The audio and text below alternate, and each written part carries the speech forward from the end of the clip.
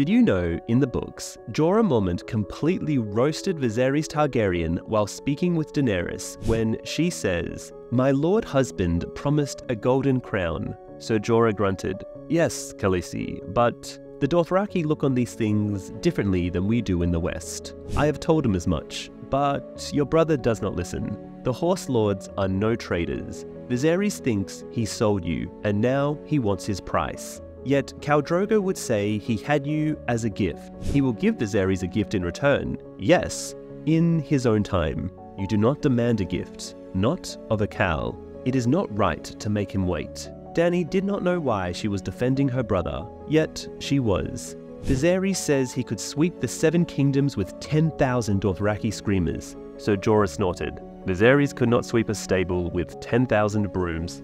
Dany could not pretend to be surprised at the disdain in his tone.